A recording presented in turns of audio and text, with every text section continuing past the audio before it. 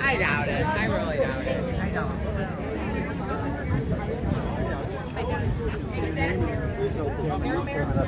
I'm Bonnie Castle, and I'm okay with it. All right, Bonnie, you got a Trump hat on. You got the red, white, and blue. And you got a Trump sign. So your guy's not here. Uh, what are you doing here? Well, he's not here, and I'm glad he's not here because he doesn't want any of those other things. And, you know, we need to get some good people in there, not deep state people. Um, and I'm not saying all of them are. You know, um, about the people. And when you realize that both Republicans and Democrats are equal parties, that's when you get your wisdom. They've been dividing us race and religion and contraception, no contraception, religion, no religion, Muslim, Christian, everything. So we have to wake up to all this stuff. To you, Trump is a unifier, not a divider. I feel like When you saw us over there, we were doing a press conference with Christian faith leaders on the need to support contraception. Can you tell me what you thought when I said we're asking for Republicans to support the right to contraception? Do you remember? why would you not support contraception? I, I don't understand. Why would you not? You know, we're killing these little babies. It, it's disgusting. It's demonic.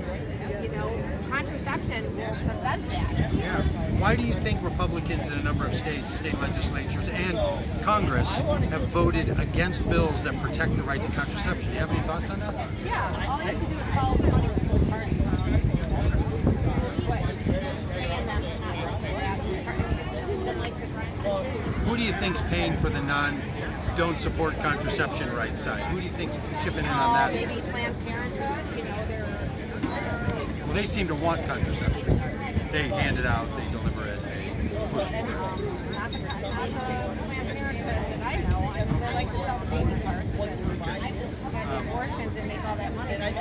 Would you like to hear? I mean, whoever becomes a Republican candidate, so if it's if it's Donald Trump or one of the people on the stage or someone else, would you want them to say publicly that they support the right to contraception in America? Thanks. Anything else we should ask you that we missed? 2024, baby.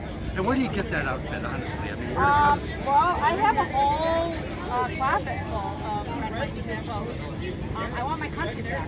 I, I hate it the way it is right now. I, we're all about lies. What's going on in Maui right now? when did you like it? When did when did America feel good for you? I really liked it when Trump was. You had 48 good months. He had 48 good months, and he really showed us different things. He showed us what they were doing to us for all these years. Oh, Yeah. My vision is to program us for how many years. He sort of woke us up, and I really respect that. I don't respect any party. I'm not. I'm not any party. I am a human right? That is an American that is sick of being uh, experimented on by uh, government.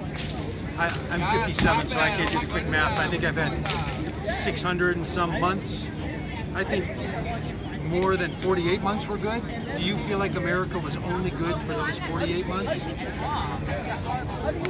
think it was good back when we thought it was good, but didn't know what was actually happening. I think what we thought it was good, but you know, you keep us busy. You keep us busy. You keep mom working three jobs.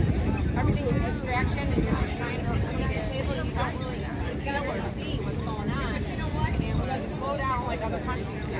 Have vacations, focus on God and family first, and stop taking God out of everything. Yeah. Do you feel like I'm a Christian pastor, so I wonder what your thoughts is.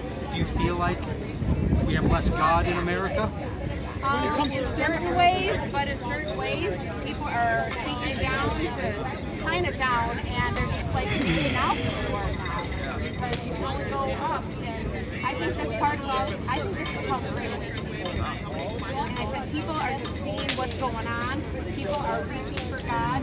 People are reaching what is going on with our country. Um, we have to go back to those days where I got sugar. What do you have? Here, let's trade for that. You lift each other up, you build each other up, and you grow this, I'll grow this. You know, because the big guy is getting it, and the little guy is struggling. Yeah. Are you afraid that some of these people will call you woke if you're looking for a great awakening? I am not afraid. I'm not, I'm not woke. I'm nowhere near woke. Just want a great awakening, spiritual awakening. called the Great Awakening. People realizing what politicians have been doing to us. We're not experimenting. Whether you want to talk about Monsanto, you can talk about you know, contraceptives. Everything has been an experiment with us. We are human beings with rights. We're Americans. And you know what? Donald J. Trump, he woke us up to a lot of that stuff. So good for him.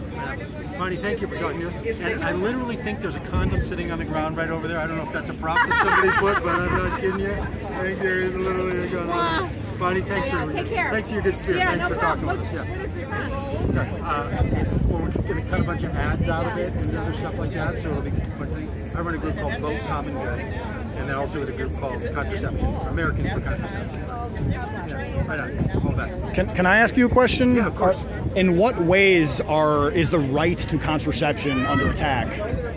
Yeah. So is this not is this not a video anymore? Yeah. Hey, we're going to keep videoing, uh, Dan. We're going to keep going on this conversation. So it, so in, in what ways is contrace- the right to contraception Yeah. under attack? It feels a little weird, right? Some guys out here with a sign that says right to contraception. on. Right. Here's what happened. During the Dobbs decision, Right.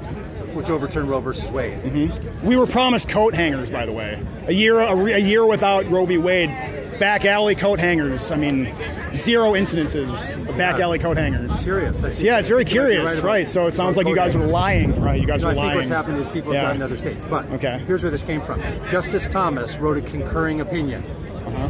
to the, you know, he supported it, but he also said, and by the way, we've overturned Roe versus Wade because we don't think the right to privacy was the right argument for Roe versus Wade. That was the legal argument.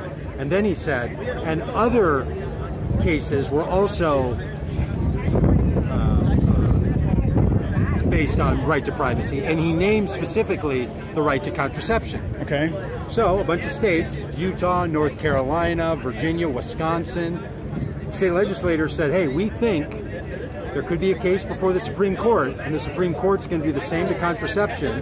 No national right, a state's right. So they're going to ban contraception. They're going to ban condoms. They're they're going. So here's what happens. They're going to the Supreme Court is going to this is the, the concern. They're going to ban the pull-out method. It's Well, going to ban one. No, contraception. that, that one's okay. The pull-out method is still okay. Um, so the the argument is states then need so states started to prepare for this in case this happens, right? So they put bills forward, Utah, North Carolina, and federal legislation.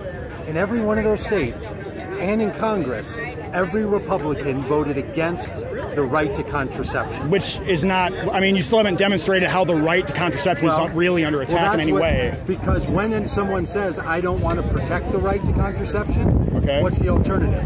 That there's You have to go to right- Wal. You have to go to Walgreens and use your own money to buy a pack of condoms for No, seven no, no, no. This is not about public funding for contraception. It literally I think it's about entitlements to like elective No, no, uh, no, no. contraception. I think that's that's more or less what you guys are kvetching about. Well, it's not. Are you Uh, sure? Yeah, totally positive. I mean, if that was it, it'd be fine because nobody, no government pays for contraception. It wouldn't be a concern. The concern Private is, entities do. It's fine. Yeah, but that, before You know? 1968, some states, I think including Wisconsin, you did not have the right to purchase contraception. It was contraband and illegal. The reason that there was a federal lawsuit and therefore the Supreme Court ruled on it is because we needed to have same laws everywhere in the country based on the right to privacy. When Thomas said that's something we should relook at, states then went to pass state laws and Republicans voted against it. I think So for the most is- part is that I, that conservatives probably want you to pay for your own stuff. It's not Probably about what who pays for it. It's about is it actually illegal to get. So Like you think you think that they're going to illegalize Did contraception? you think they would make illegal abortion, or did you think they were just going to remove public funding? Again, we were promised coat hangers, and it's been no Roe No, v. Wade and nothing. they were Zero over- coat Do hangers. you think they were going to overturn? Zero coat hangers. We were promised coat hangers. Thank you. I appreciate Yeah. your conversation. Satanist. God, they're faggots.